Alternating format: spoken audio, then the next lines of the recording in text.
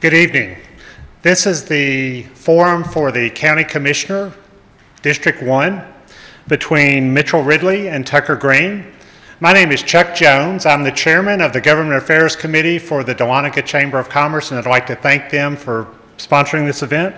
I'd also like to thank FYN Media Group, Brian and Michael. You don't see them on the streaming, but they do a lot of work to make this available to all of us, and they do a great job, and they're a tremendous partner. So what we'll do is we had a, we picked numbers before it started. So Mitchell will make the opening two-minute sta- statement, and then Tucker will be second. We'll ask questions throughout the evening. They'll each get the same questions, and it'll alternate between who gets the question first. And at the end of the evening, the closing statements will be reversed, and Tucker will make the first closing statement, and then Mitchell will make the last. So, good evening. Thanks for your willingness to serve. I appreciate it. What people don't realize is you don't get rich serving on the uh, county commissioners, and so the willingness to put yourself out and serve the community, I applaud both of you for that. So, the first question after the opening statement will go to Mitchell. You'll get them twice, so if you want to make your opening statement, go ahead. All right. Uh, I'm Mitchell Ridley. I live at 121 Skyline Drive. I'm a lifelong resident of Lumpkin County, a graduate of Lumpkin County High School. I've owned a business for 41 years in Dahlonega. Um, I have my family here with me tonight. I'm pleased to welcome them into the arena also. Uh, but we've uh, we love Dahlonega. We we feel like that Dahlonega is an uh, very inviting place to people. Uh, everyone that comes here seems to feel the same way. It's the hometown feel. It's the uh, ambiance. It's the beauty of the uh, the nature, the history of Dahlonega. Uh, our roots run very deep in Dahlonega. We've served Lumpkin County for over 30 something years combined with my family. And we really love Dahlonega and hope that everyone would enjoy Dahlonega as much as we do and uh, come and visit, stay with us, uh, plant your roots here. Uh, we just include everybody. Uh, I don't think a neighborhood or a community has ever been accepting to people as much as Dahlonega has in Lumpkin County. And I look forward to serving you. Thank you. Tucker? Good evening. My name is Tucker Green. Um, first of all, I'd like to thank uh, Rob Nichols and the Chamber, um, FYN, and Chuck Jones for helping to facilitate this evening. Um, it's so important for us to have forum opportunities like this to engage and inform our community and our voters on um, why each candidate should be elected. And, you know, through this, we are actually helping to empower um, each one of our community members um, when they step into that booth to be able to vote with absolute confidence. So we thank y'all. Um, my wife and I moved up here 15 years ago, and I will say, uh, Mitchell just mentioned that this community is incredibly inviting, and that is 100% fact. Um, it's, it, it's part of the reason why we moved up here. Um, we came up here looking and chasing dreams. Um, dreams to raise a family in an environment where we felt safe, where we felt comfortable, an environment where we felt that our kids could get the kind of education that they needed to. Uh, my wife's an educator. She's a kindergarten teacher down at Blackburn. Education's a big piece of that puzzle for us. And we felt that about Lumpkin County, and we have seen that day in and day out uh, here in this county. So, with that, we, we needed to find a way to, to begin to serve. Um, I grew up in the home of a pastor, so I, I, saw what servanthood and what serving really looked like from day one. Um, my wife and I immediately got involved with our children's program, over at Dahlonega UMC. Uh, ran that, and it's still one of the most thriving uh, programs today. Served as the uh, vice president of the UNG Wesley Foundation. Served seven years on the Park and Rec Board underneath the Lumpkin County government, four as the board chair. I got to see a lot of the inner workings of government through that entity uh, was the vice president of Dahlonega Jaycees. Uh, we facilitated and put on Gold Rush, uh, which is coming up this weekend. Uh, president of the Dugout Club at Lumpkin County High School, and it's one of the most thriving booster clubs today. Um, these are all the things that led me into the servanthood that has put me in this position today. Thank you. Mitchell, the first question will go to you. What are your thoughts on the creation and enforcement of a noise ordinance? I'm very passionate about quality of life here. Uh, That's why people move here, just like Tucker. They want a quality of life. And that's been the platform of my campaign, has been quality of life. We have abundance of people moving here, looking for the same things that I grew up with, the small-town feel, the uh, beauty of the nature, but if we do not protect our resources and we protect our children's futures and our futures, we, we lose something in the community. Uh, we have had uh, people that's opened up venues and such, uh, and sometimes it's just a little too loud.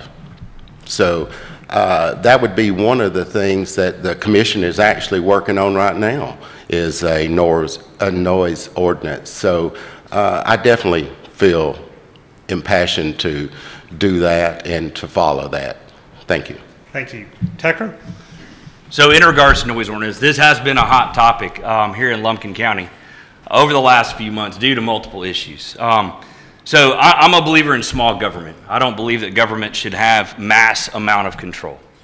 Um, and so with that, I believe in people's rights, and I believe in people's rights on both sides of the fence. Um, I believe that when you have a wedding venue that is playing loud music on a Saturday night, that there needs to potentially be some type of a shut-off time um, for that, because there are people um, surrounding neighbors that, that may be trying to get rest to, to go to church the following morning or whatever it may be. Um, but at the same time, that wedding venue that has planted itself in Lumpkin County, which, you know, we are known as one of the wedding venues of the South, um, they need to be able to have that opportunity to be fruitful and to have success in their business ventures that, that they have implemented. Um, so I do, I do believe that it is important for us to find some middle common ground there that benefits both parties. Um, again, I, do believe in small government. Um, however, I do believe that it is our job um, to implement some of these things to help protect both parties. Again, we, we want to keep Lumpkin County as a place that people want to be and want to come to, and that they want to remain here. Um, we've got to have re- retainage and retention of those community members because those community members, those business owners, those neighbors are the ones that make Lumpkin County what it truly is. And so we've got to fight for both sides. And, and I'll promise and I'll vow to fight uh, for both sides of, of that fence, per se, and uh, make sure that, that both have equal opportunity, both to a high quality of life and to the opportunity for fruitful, successful, successful business. Thank you. So Tucker, this question will go to you first. Do you, do you believe that we should consolidate the city and county governments? So that, that's one that's been brought up a few times. And I have heard numerous elected officials um, over the last little while discuss this topic.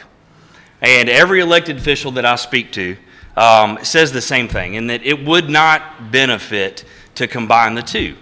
Um, while there are a lot of commonalities and a lot of things um, that we do share, um, there's not a whole lot of repetitive um, departments and opportunities for that. Um, with that, the county and, and, the city are so different um, in, in a lot of their offerings. You know, people decide to live in the city um, for some of the services that the city can offer, for the square life, for the nightlife, for the lights that are of the city. Um, a lot of us, like myself, uh, decide to live just outside city limits, where that's not an issue. Um, so it, they're two completely different entities. Now, there are a few ways in which we could potentially look at that, and it's, it's my job and my role, if elected, um, to, to look at some of those opportunities and see if there is such a way. For example, with sewer and water.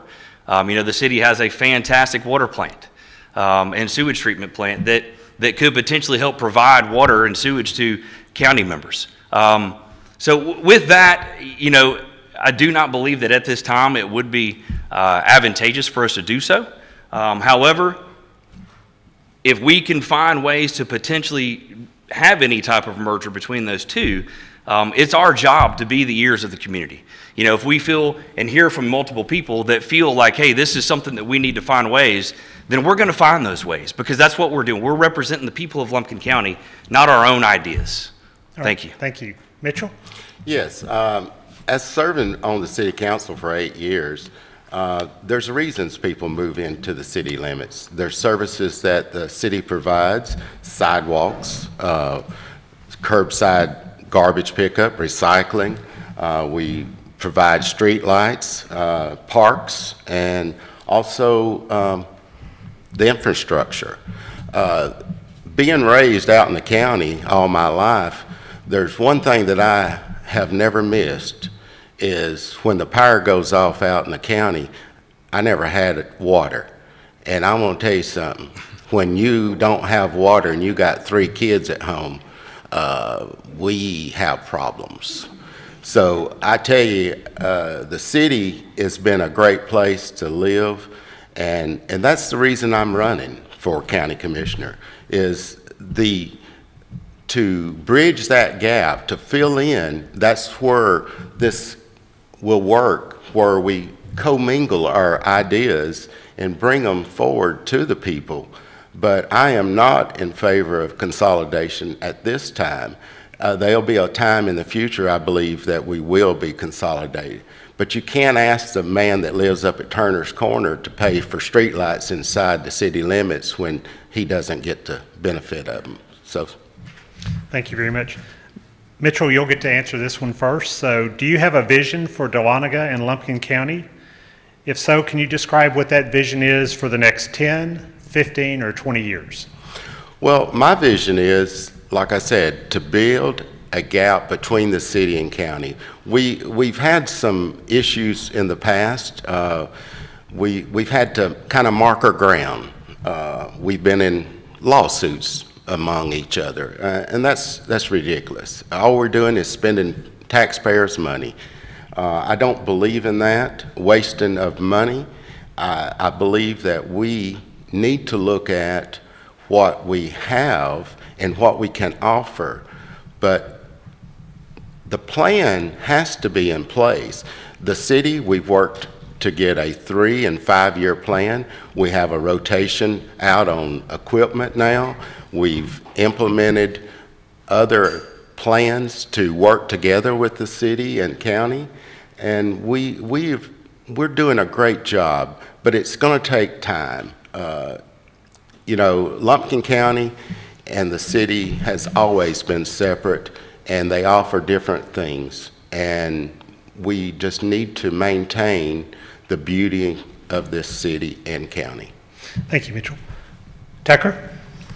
So, in, in thinking about our vision, um, what is one of the most important things in Lumpkin County? And one of the most important things in Lumpkin County is our youth. And I'm going to tie that back into just a second. Um, when, when we moved up here, one of the things that we loved about Lumpkin County was how beautiful the rolling hills were, how green everything was, how development was, was small, but yet still large in a, in a way, but it was protected and, and it wasn't super, super evident. Um, so we have to do things that help protect that. Um, I'm a big fan of agritourism.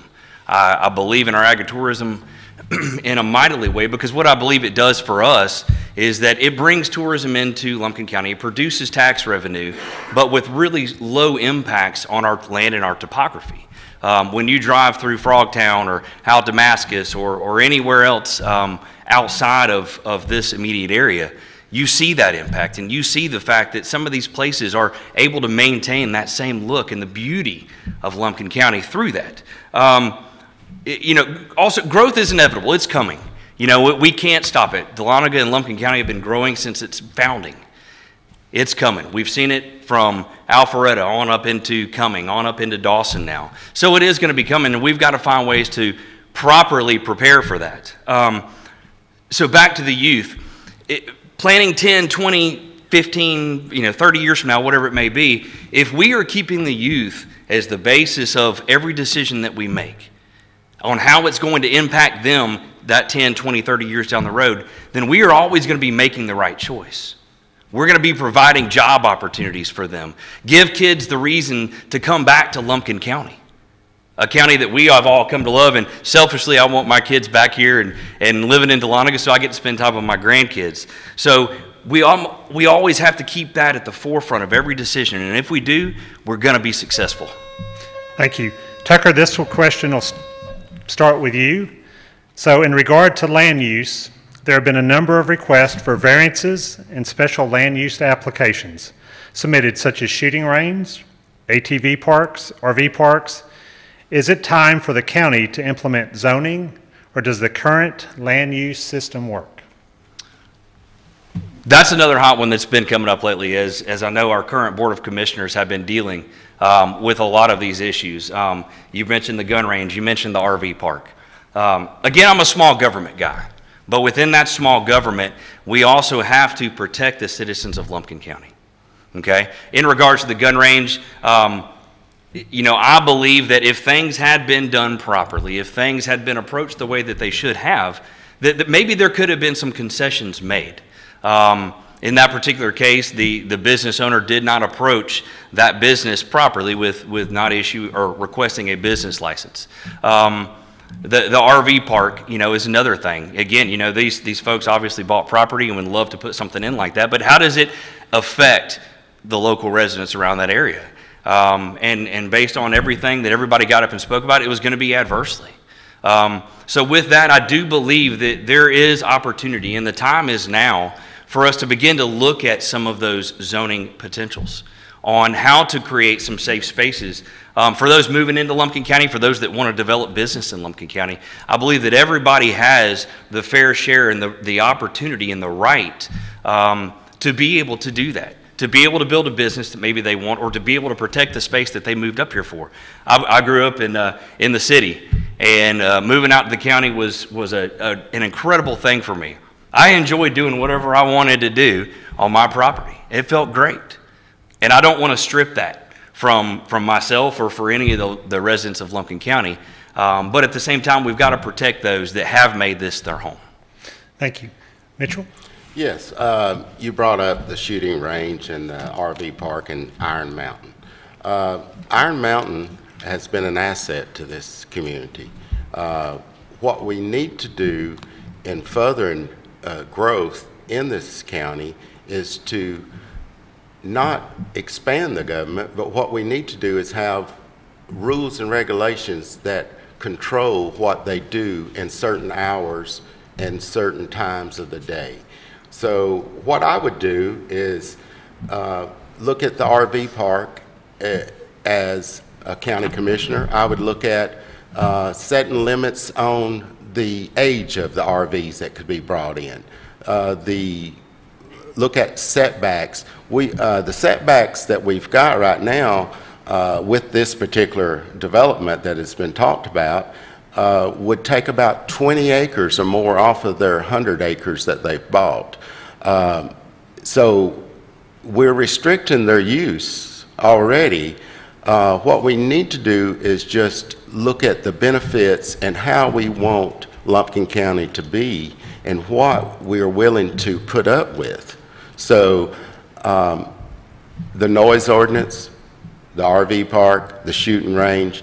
The shooting range, um, they, they came in under the radar. They, they did not follow the basic rules of opening a business here. So I would not reward bad behavior. Thank you, Mitchell. Uh, Mitchell, you'll get to do this question first. So tourism plays an important economic role in our community, and we want to protect the sanctity of our neighborhoods. But how do we protect our neighborhoods and still encourage tourists to utilize short-term rentals without banning them outright? Uh, that's a very good question. I tell you, Chuck, we've, uh, we're, we're looking at that in the city. What we did in the city, uh, was actually put a limit, uh, to where people could register a Airbnb inside the city limits. We gave them a certain period of time. Um, I'm not suggesting that for the county, but what I am suggesting is when uh, you have a citizen that's lived in a subdivision for 26 years and the person bought the house on the left side of them and the right side of them and behind them, and it's the same person that's opened an Airbnb business, that is a business within a residential section. Uh, Where is the rights of the homeowner that spent 26 years investing into their home and want to have, you know, just some good quality life. So if you're going to allow people to own multiple Airbnbs and run them as business, then they need to be treated as business. They're not part-time. So I would regulate them with having on-site or at least someone in Lumpkin County, if the residents that live next door to them have a problem, that you can call just like you do at the hotel. Call down to the office, tell them, say, hey, people on the left's here partying like crazy, so let's kind of quieten it down. Thank you. Thank you. Tucker? So with short-term rentals, um, I've, I've had a, numerous discussions um, with people across the county that own short-term rentals, trying to get a good feel for where they are versus the ones that um, have been opposing it.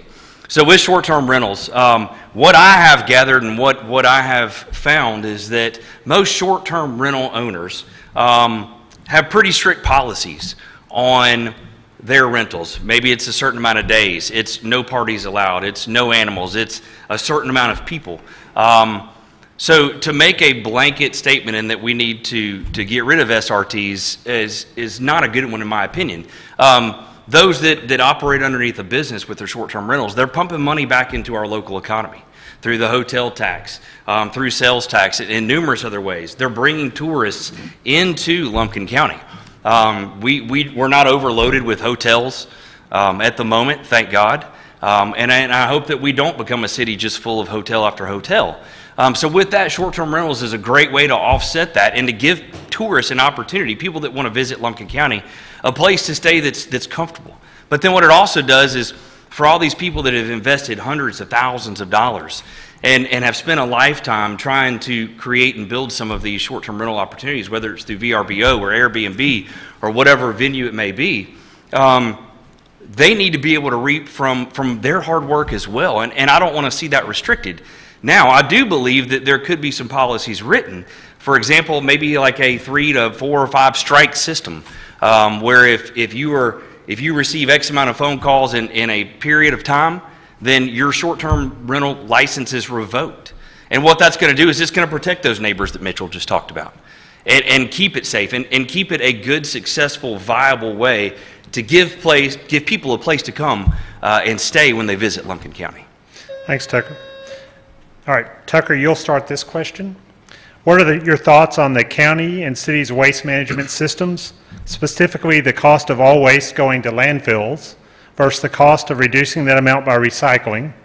Our policies and procedures now will have an impact on future generations for sustainability practices. So right now, we, uh, we have a transfer station that, that is receiving trash and is shipping it off. Um, it's my understanding um, through some conversations that we've had that uh, right now, based on research that our Board of Commissioners has done, that our city council members have done over the years, that it is the least impactful and least uh, costly to be able to do that at the moment. To, to build our own landfill, I know that we have had some people in our forum that suggested building our own landfill. Um, right now, that's not something that we need to be doing. Um, who wants a landfill uh, next door to them? You know, and so where would it go? Who would manage it? Who would facilitate it? Who would make sure that we don't have things leaching into the earth uh, that don't need to be? Um, right now, our recycling program, I know recycling is something that we have discussed, and I've, I've been able to discuss it with, uh, with a few of our citizens. And right now, there's, there's people that are extremely passionate about recycling. And I do not believe that we have done a great job with it. We've, we've made attempts at providing opportunities for recycling. Um, I was speaking to a gentleman just the other day um, at Foothill Grill who said, You know, Tucker, I, I love recycling, but right now it's such a burden that it's hard for me to do it. But I would love a place to be able to do it. Um, so we have to find a way to be able to provide a recycling opportunity um, for those that want to be able to. Um, one that, that doesn't, you know, he mentioned uh, there's a cart full of all the aluminum cans up at the transfer station here at the dump where they, they're handling recycling right now. And he doesn't like going to drop off cardboard because he gets attacked by yellow jackets every time. So we've got to provide ways to be able to uh, give opportunities to those that are uh, fanatic about it and that, that desire to recycle because recycling is an important part of preserving this county and our state and our country for our youth. Um, and it would be something maybe you pay by. I know uh, my opponent the other night mentioned that he would like to uh, enforce a recycling fee for every community member, and I don't believe that that's the right thing to do. Thank you. Mitchell? I did not enforce a recycling fee. The people that within the city limits pays for recycling, and that is each homeowner. And what we did was spread that out over the entire system. Uh, You pay for recycling whether you recycle or not. It costs $4.50 a month. Uh, I'm not in favor of mandatory fees upon anyone. But what I am for is recycling. And we have to look at recycling to be mainstream where it's, the, the places I have seen while being within the city limits and we looked at other s- systems, it seems like the easier you make the recycling, the more recycling is available and it's more used. So the city imposed a fee and we hired a company that comes in and they pick up recycling once a week. So the county is not at that point, and people have to transport it.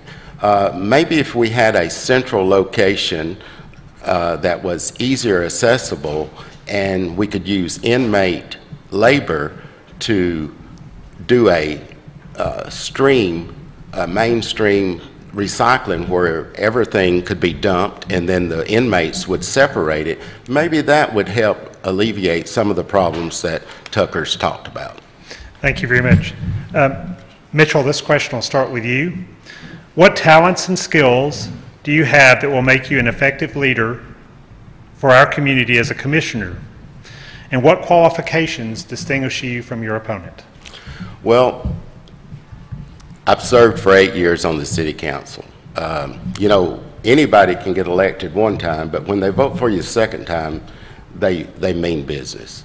So uh, I believe that through those skills that I have honed for 41 years, standing behind a barber chair, talking to people, uh, solving their problems and listening to their problems, and just being a sounding board. Sometimes that's all someone needs, is someone to listen.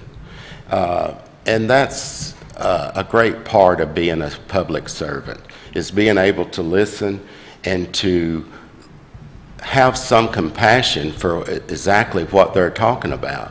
Uh, When you have people that move here and that want to be a part of the system and the community, we have to include those. And my skills, like I said, is my business skills, my service to the community, uh, and that's exactly where I feel that I, I separate from Tucker, that uh, I've served for eight years. I have been a part of the process, and I believe that Dahlonega is better off today than it was eight years ago. Thank you very much. Tucker? So with this question, so I, I love to serve people. Um, serving people, uh, I'm in sales, um, which is very serving oriented, um, as Mitchell does um, with his business. And, and the, the ability to serve people it's something that, that is not just provided to everybody. It's not something that is instilled in every single individual. Um, it's something that, that was instilled in me from an early age. And so the ability to serve people um, is, is one attribute that makes me a great opportunity and a great candidate and a great commissioner for this role. Um, you know, I served on the Park and Rec Board for seven years, as I mentioned, four as the board chair. Um, during those seven years, we took a Park and Rec system that, that was flailing at that time and we redeveloped it. And you you can see a lot of that as you drive through Ahela Park um, right now. Now, there are some discrepancies that you see driving through the park right now because they're short-staffed, um, and we need help um, to maintain some of it. But we, we vetted the process of, of our last two Park and Rec directors, um, with Wade Chandler being the one that's currently serving. Um, we, were, we were tasked with that responsibility. So I, I know how to handle that. I know how to put people in place to run these departments and these entities uh, that will make successful ventures for everything that we do here. Um, it's, it's not the people up at the helm that make the county so great, it's the people that we put into place. And um, identifying those skills and those talents, I believe, is something is my strong point. Um, uh, managing people has always been something that I've been very, very good at, and inspiring people. Um, I'm currently in the leadership Lumpkin class, and we took a, uh, a little test about ourselves the other day, and, and one of the things that, that stuck out at me and that was one of my highest ratings was that I, I like to inspire people. I like to make people feel good about themselves and push them to do great things. And that's, that's what leaders do. Leaders aren't necessarily the greatest at, at one in particular thing, but they're really good at inspiring people. Um, and then problem solving. You know, as this job is, is going to present itself uh, with many, many opportunities to problem solve, that is one of my strengths, and I look forward to using that in this role. Thank you. Uh, Tucker, you'll start on this question. What are your views on COVID restrictions, vaccine mandates, lockdowns, mask mandates, and any other business ordinances to do with COVID-19? It was a long question, so. And it might be the most loaded question as of yet. Um, so, COVID hit all of us hard. There is nobody in this room, there's nobody watching online um, or sitting behind the table here or behind the podium that was not affected by COVID. It was a, a very serious uh, thing that came through here and, and it shut us down, it crippled us. So, there's no doubt the severity of, of COVID. Um, you know, I believe as far as mandates go, I, I do not believe in them. I'll, I'll, I'll be honest with you. Um, you know, everyone should have the right to decide, especially with the vaccines. Um, you know, I don't believe that someone should be forced into making a decision of that magnitude. Um, you know, I've, there's been great results from the, uh, the vaccine. I've also heard terrible, terrible stories. I've got a friend right now who two weeks ago got the COVID shot. Woke up Saturday morning paralyzed from the waist down. We don't need to be enforcing those types of things on people. Um, you know, in regards to masking up, if, if it makes you feel safer, if it makes you feel more comfortable, then by all means wear one. Protect yourself. But that doesn't mean that every single person should be forced into that same compliance. Um, it's been a challenge. Um, you know, my wife being a teacher, and I've heard from numerous teachers, one of the most challenging things that they faced during COVID was teaching with a mask on. It was always in their face. They, they speak for a living. And it was a challenge. It was also a challenge, uh, my wife as a kindergarten teacher, to keep five and six year olds wearing a mask the entire time. It's, it's a major challenge. So, my, my advice and my, my thought on this is if it feels like you are protected by wearing it, by all means do so. That is your right and your choice. But I don't believe that that should be inflicted on anyone. Thank you. Mitchell? Uh, yes. COVID was one of the hardest things that I had to go through as an elected official. When they started talking about COVID and shutting down, we, we met that morning and we had the city council, other businesses coming there, and pleading not to shut them down. I mean, to shut down a business is the worst thing I've ever seen happen in the United States. I, I just couldn't believe it. That here we are, one of the greatest countries in the world. We can send a man to the moon, and we are shutting down our country. I could not believe it. The mass mandates, we had the governor impose certain restrictions, and as elected officials, we had to follow those. Uh, the first time in 41 years that I was put out of business. I've never drawn unemployment. Couldn't ever draw unemployment because I was self employed. But this was the time that they re- released funds, and I didn't draw unemployment this time. I prepared, I had enough money set aside that we could stay at home for three months. Luckily, it only asked six weeks. I was back in the shop working. Uh, I was mandated to wear a mask. I had to sanitize, intense sanitation, check people's temperatures. This is not the way I want to live. The shots, the vaccines, they're available. It is a personal choice. If you want it, please get it. Please get it. but it's not something that I would ever mandate for anyone. Thank you, Mitchell. Mitchell, I'll start this question with you. What would you do differently from previous commissioners? What are your goals for the county? And what are the changes you want to make for the betterment of the community?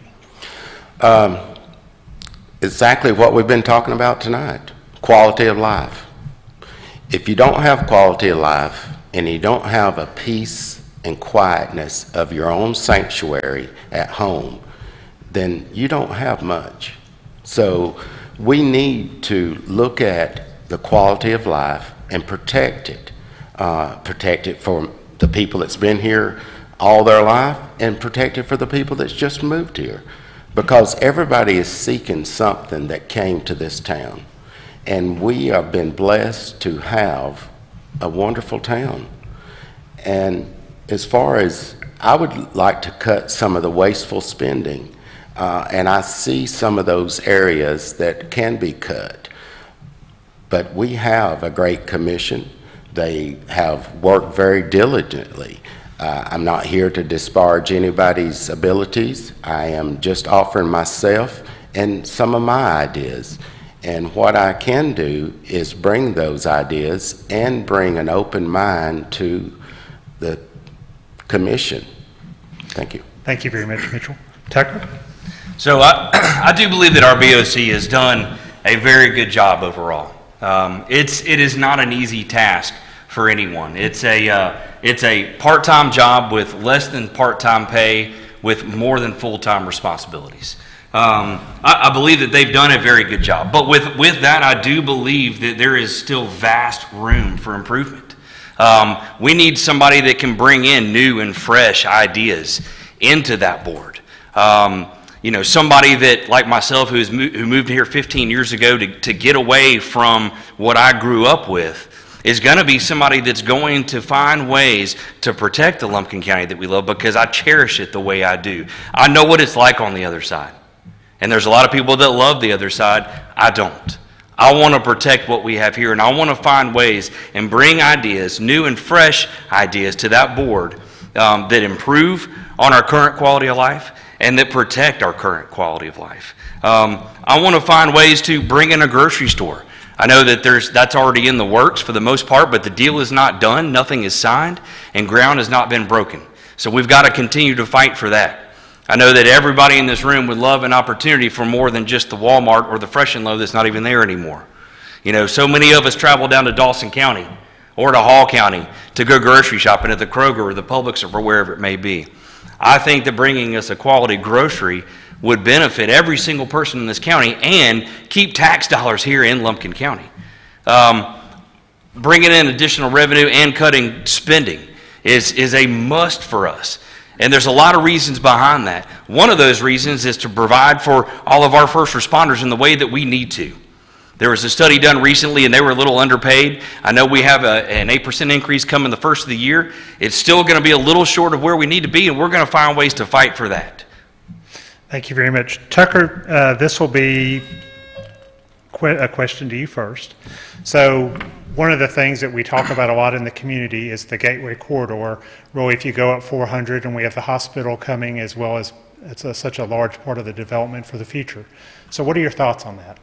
So, we spoke earlier about in, inevitable growth. That growth is coming. When, when you put a hospital, which we are all in dire need of, um, for that whole safety portion that, that we, has been discussed and brought up numerous times this evening. So, the hospital is a, is a necessity for us. With that is going to come new nurses. It's going to come new doctors. It's going to provide opportunities for people in Lumpkin County, uh, for those that are in the nursing school at UNG. Um, with that, we are going to see that growth, and we're going to have to be able to provide things down in that area for them, from restaurants to other uh, shopping entities, to be able to to utilize when they're stepping away off of a break or when they're done with the work or whatever it may be. Now, with that, I, I want to see and I will fight to make sure that this happens. Um, when you go to Hilton Head, Hilton Head has done a phenomenal job with, with some of their, uh, their beautification codes. And um, I want to see something that is implemented with any future growth in that area that when you come up 400 or when you come in 60 either direction, that when you see those developments, that it feels like Lumpkin County. That's incredibly important to me. I don't want to see strip mall after strip mall and failed nail salon and failed restaurant over and over and over again and it being turned and turned and turned.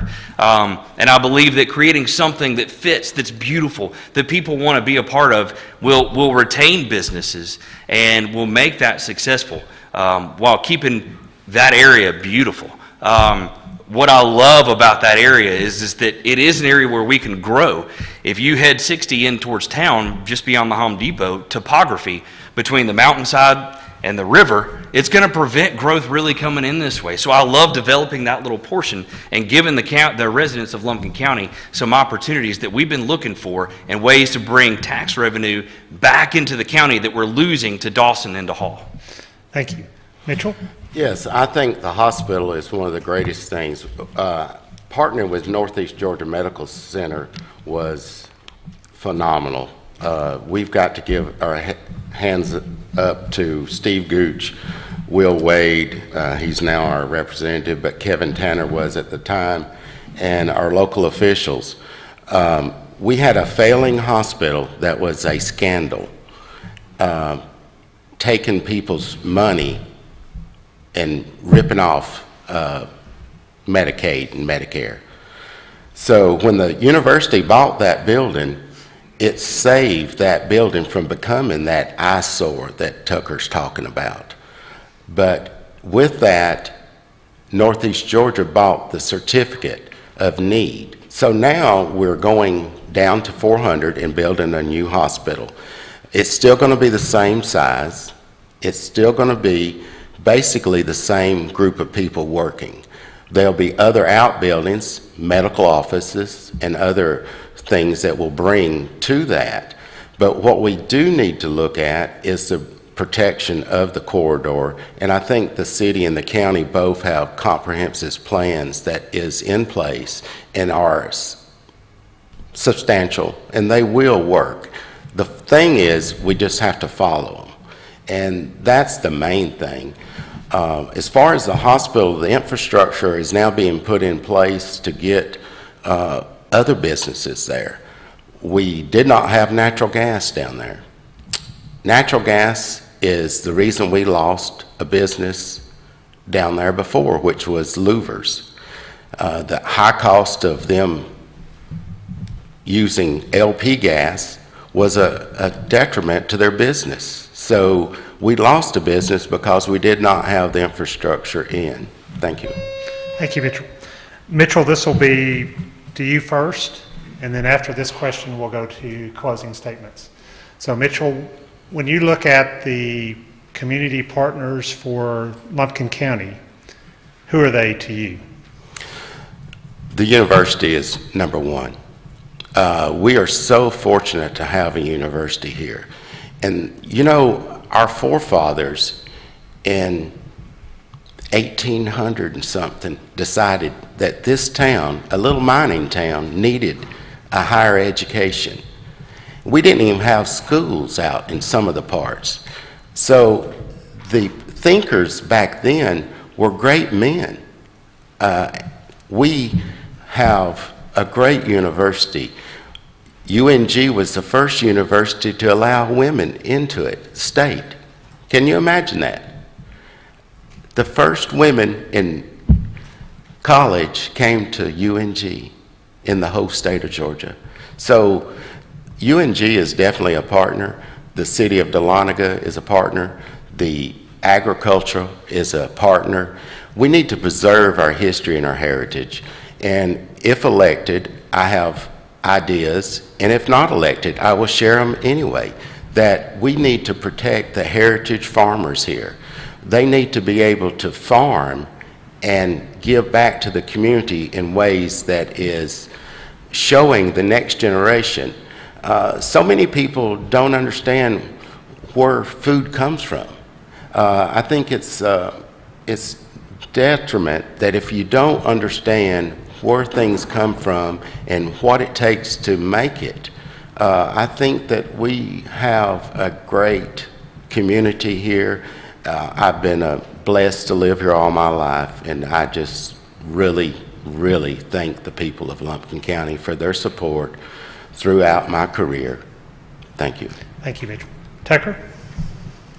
So when you think about community partners um, here at Lumpkin, the three largest uh, providers are UNG, our county school system, and COYO.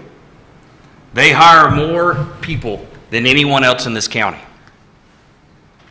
My thought is that we, we find ways to invest in those three and make sure that they feel and that they know that we have their back. So UNG, between students and faculty, are near 9,000 people in Lumpkin County from August until May. They bring a mass amount of money into this county.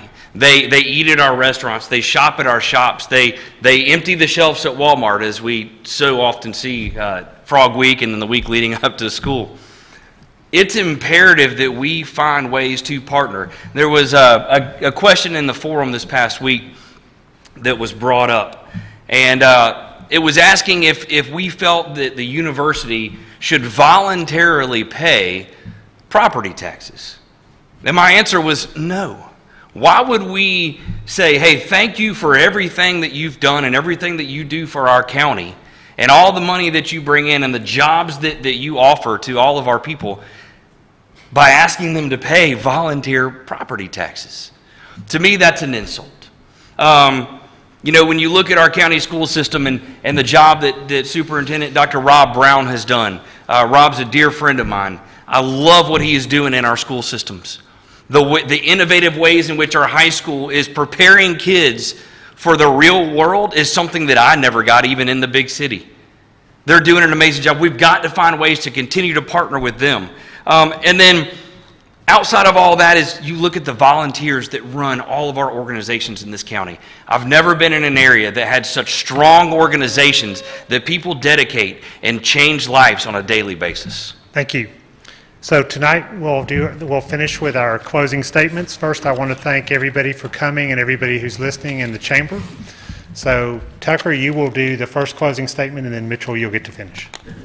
Well, first of all, I'd like to thank um, every single one of you again that have put this on to facilitate this, to give us an opportunity uh, to be heard. I, I enjoy speaking more than I do writing on a Facebook forum. And, and, I know the, the admins and moderators of the Facebook page have done a tremendous job, and it's been incredibly insightful um, for, for Mitchell, myself, and for all the candidates in this, as well as everybody else. Um, but to be a voice is a totally different thing. Um, in a setting like this. Um, I want to thank everybody that, that showed up this evening.